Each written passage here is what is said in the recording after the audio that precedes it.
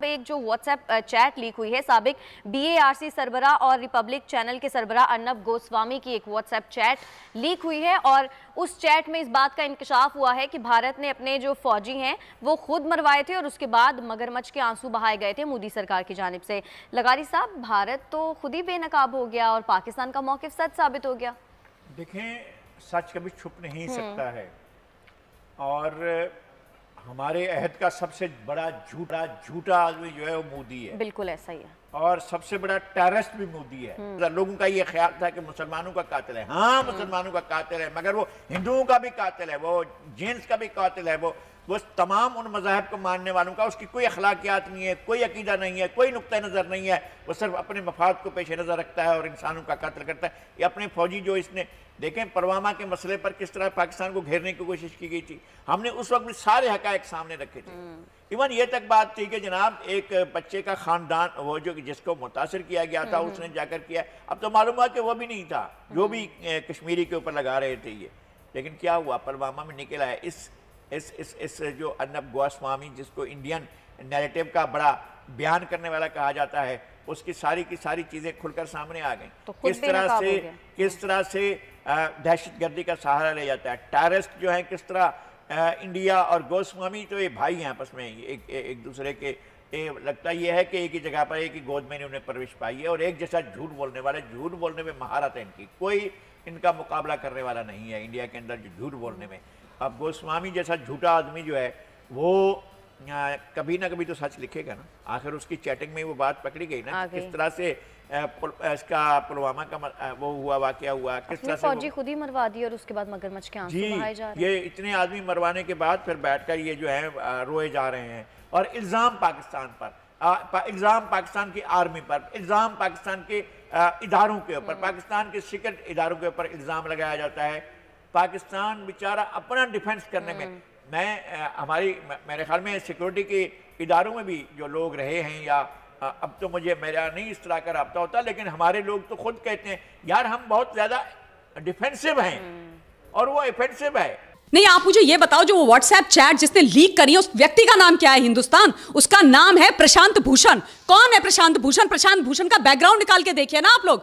आप देखिए कौन है प्रशांत भूषण? वो प्रशांत भूषण जिसको सर्वोच्च न्यायालय ने सजा दी थी, जिन पर पेनल्टी लगाई थी एक रुपए की। क्यों? क्योंकि उन्होंने हिंदुस्तान के आदरणीय चीफ जस्टिस को, जस्टिस बोबड़े के ऊपर झूठा आरोप लगाया था। वो प्रशांत भूषण कुछ भी निकालेंगे, हिंदुस्तान की जनता मान जाएगी। और क्या लिखा है उन व्हाट्सएप चैट्स में? कहा उन व्हाट्सएप चैट से यह सिद्ध होता है कि अर्नब गोस्वामी किसी प्रकार का फेक टीआरपी केस कर रहे थे? ये यहाँ पर व्हाट्सएप चैट्स की चैट्स को लीक कर देते हैं। जो भी उसके स्क्रीनशॉट्स हैं, मैंने भी वो देखे हैं। उनको लीक कर दिया जाता है और उसके बाद मारा जाता है उस व्यक्ति को, पार्थो दास गुप्ता जी को, कि तुम औरनब गोस्वामी का नाम लो। अर्नब का नाम लो इसको हमने पैसे दिए हैं। मतलब नाम लो, नहीं तो हम तुमको मार देंगे। ये अंधेर नगरी चौपट राजा हो रखा है। महाराष्ट्र के अंदर क्या मुगलों का शासन है? महाराष्ट्र के अंदर क्या अंग्रेज़ों का शासन है? अंग्रेज़ी शासक बैठे हुए हैं क्या वहाँ पर? कौन है वहाँ पर? हिंदुस्तान के लोग बैठे हुए हैं ना? जो तीन तिकड़ी की भी जो सरकारें हैं तो वो हिंदुस्तानी। कैसे कर सकते हैं किसी देश की व्यक्ति के साथ ऐसा?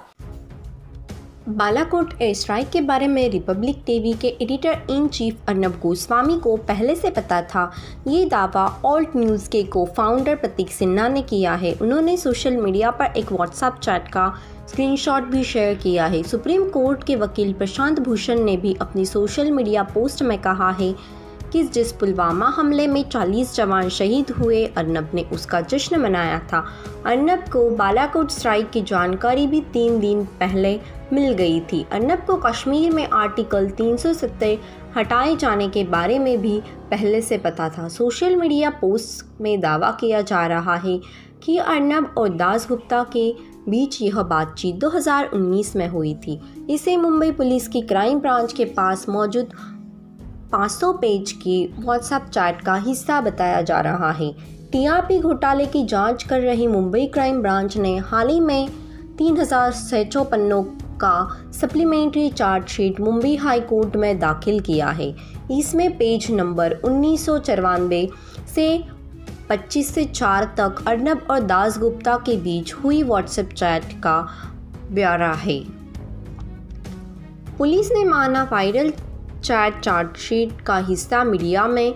यह चैट लीक होने के बाद सहायक पुलिस आयुक्त सचिन वजय ने माना कि यह चैट हाईकोर्ट में दाखिल की गई सप्लीमेंट्री चार्ज चार्जशीट का हिस्सा है, लेकिन यह मीडिया तक कैसे पहुँची, इसकी जानकारी उन्हें नहीं है। अनब और बीएआरसी के पूर्व सीईओ के बीच की जो चैट प्रतीक सिन्हा शहर की है, उसमें अर्नब ने लिखा है कि स्ट्राइक के चुनाव जीता जाएगा। प्रतीक सिन्हा ने जो स्क्रीनशॉट शेयर किया है, उसमें अर्नब गोस्वामी कह रहे हैं, कुछ बड़ा होना है।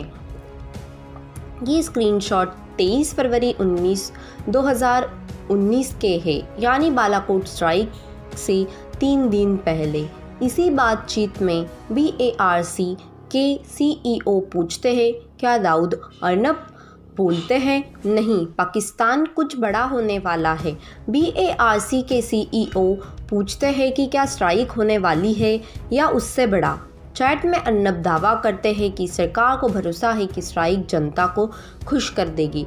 5 अगस्त 2019 को सरकार ने कश्मीर से आर्टिकल 370 हटाया था। तीन दिन पहले, यानी 2 तो अगस्त को ही दास गुप्ता अर्नब से पूछते हैं कि क्या आर्टिकल 370 हटने वाला है? इसके जवाब में अर्नब कहते हैं, मैंने ब्रेकिंग न्यूज़ में प्लेटिनम स्टैंडर्ड सेट किया है। ये हमारी खबर है अर्नब 4 अगस्त की चैट में कश्मीर में धारा एक लगाए जाने की खबर भी सबसे पहले ब्रेक करने का दावा करते हैं। हालाँकि ये चैट फेक है या नहीं, इसकी जाँच चल रही है।